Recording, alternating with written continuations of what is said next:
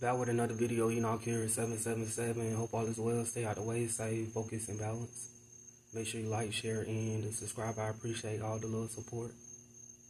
The title of the video is going to be about the time I accidentally opened up a portal. That is the title of the video. When I say a portal, what I'm talking about is mirrors. Mirrors are portals to the other side, back to this reality. This took place a few years ago, whenever I was at my old place. I was going through certain type of situations to the point to where I was depressed. So what I would do is I'll go to the liquor store and I go back to my place, go in the room, and turn off all of the lights. So I was sitting on the bed in the dark. I had these huge, big mirrors, right, in my room. So what I would do is I'd be drinking, getting super drunk, and I would start looking at the mirror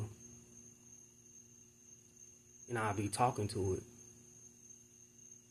So what I began to do after that point was I hopped up and went towards the mirror. I started to notice that the mirror had energy within it. So at that point, I knew how to actually talk to ghosts and how to connect with them. So whenever I would stand in front of the mirror,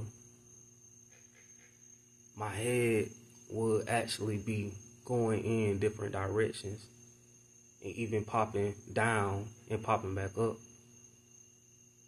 So something told me that it is something within the mirror because anytime you're communicating with ghosts and you start to see them, it'll make your head be forced to look within certain type of directions. So being that I knew how to look for a ghost, I started to see something taking place with the mirror and the reality I was in. What took place was with me knowing how to see and find ghosts, I started to see them walking in and out of the mirror. And how I could tell that I knew what was going on was because on the floor at my old apartment with the carpet, it had some type of tracks on it to the point to where it was dirty. So basically I was seeing ghosts come from out of the mirror and they would literally walk into this dimension.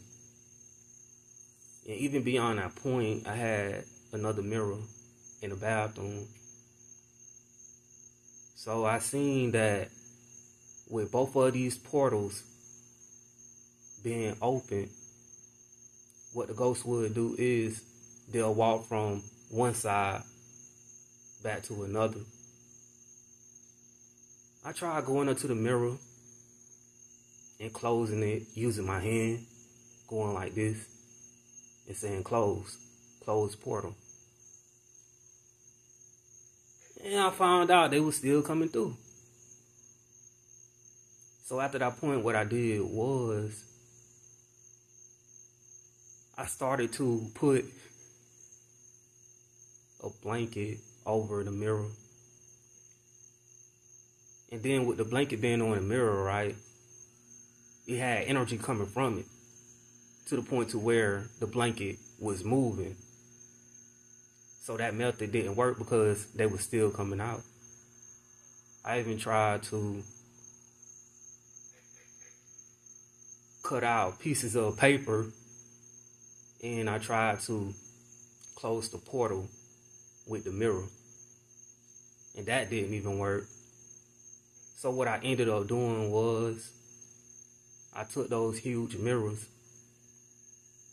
I took them out of the room, and when I grabbed it, it had a lot of energy coming from it to the point to where it was an activated portal. And I covered up the mirror in the bathroom as well. But with the main mirrors, I took it from out of the room and put it in another part of the apartment. But that was the time I accidentally opened up a portal. This Enoch 777 piece I'm out